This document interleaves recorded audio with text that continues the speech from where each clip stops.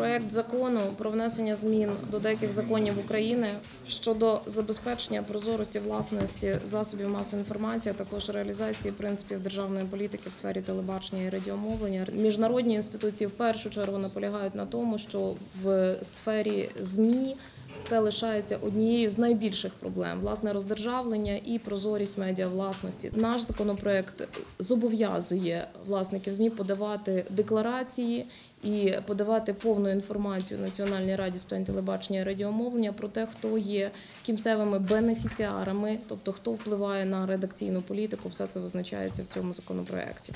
Він також зобов'язує публікувати для громадськості цю інформацію, тобто на сайтах. Е, ЗМІ має бути оприлюднена інформація, хто є власниками тих чи інших ЗМІ. Понад 95% наших напрацьованих робочою групою комітету поправок були враховані в цьому документі, і е, ми з вами працювали над ним. Я вам можу сказати, що він дійсно е, робить дуже серйозний і суттєвий крок вперед по забезпеченню е, прозорості медіавласності. І власне такі оцінки прозвучали і від експертів. Європейська логіка говорить нам: суспільство і держава має право знати до кінця, хто контролює той чи інший засіб масової інформації. Це європейський стандарт.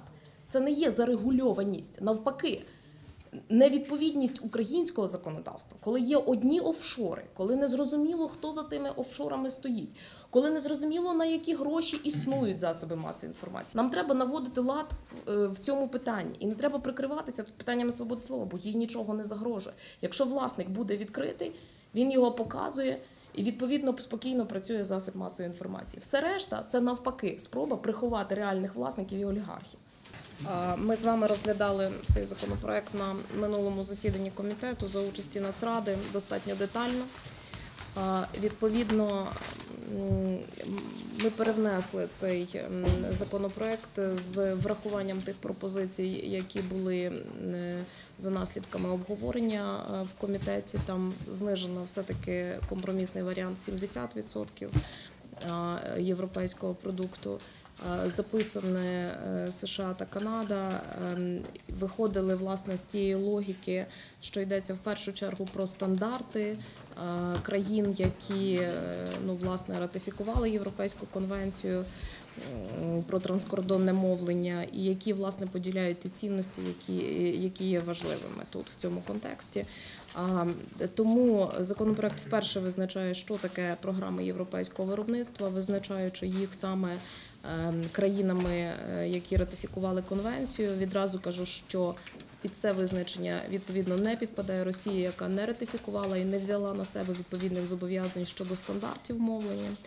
І це означає, що Україна в цьому сенсі європейськими визначає е, ті е, власне е, ті програми, ті передачі, які дійсно відповідають стандартам, які на себе зобов'язання взяли ті країни, які ратифікували цю конвенцію. Прохання обговорити і ухвалити рішення. Я пропоную рекомендувати парламенту в першому читанні схвалити даний законопроект. Тоді я е, ставлю на голосування е, про підтримку е, законопроекту е, 2766, е, внесений народними депутатами Сюмар Стеценком Панасником Висоцьким, доопрацьований для підтримки парламентом у першому читанні. Хто за це пропозицію? Одноголосно дякую.